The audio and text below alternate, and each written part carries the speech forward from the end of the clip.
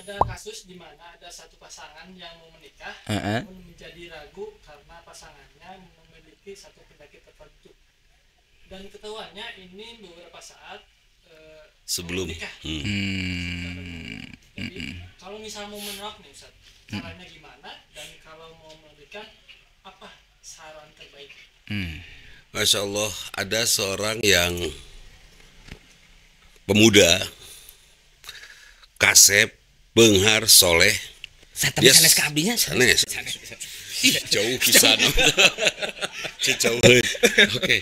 Dia mau nikah ternyata dia sangat sakit hati.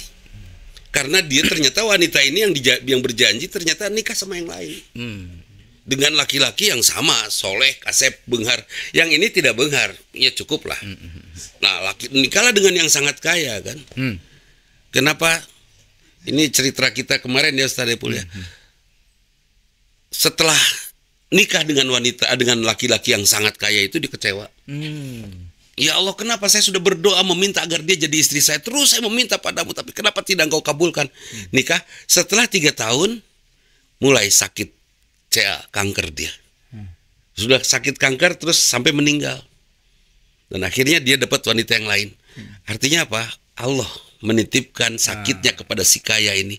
Tidak buat kamu yang soleh yang rajin berdoa. Dia yang harus mengubah. Dia diobatin sama si yang mampu ini kan itu. Akhirnya dia bersyukur. Oke. Itu kasusnya Allah yang membelokkan. Tapi saya punya teman. Saat nangis si bapak ini teman saya ini. Aduh anak saya nusi neng si teteh anaknya perempuan. Calonnya ternyata kemarin dia cuci darah dan sudah harus dua kali seminggu cuci darah. Halus atau bersih terus saya bilang gitu kan.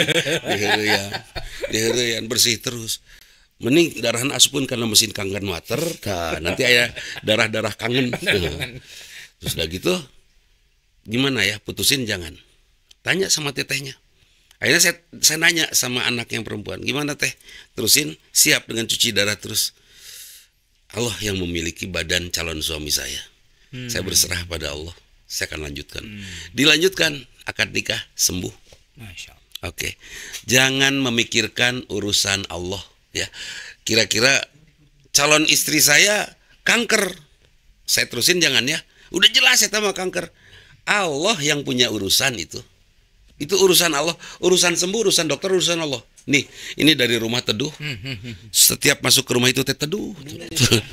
Betul.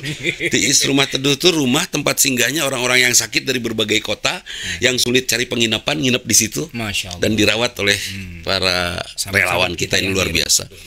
Free. Free. Itu ya. Pokoknya bebas rek rek jogging rek naon bebas.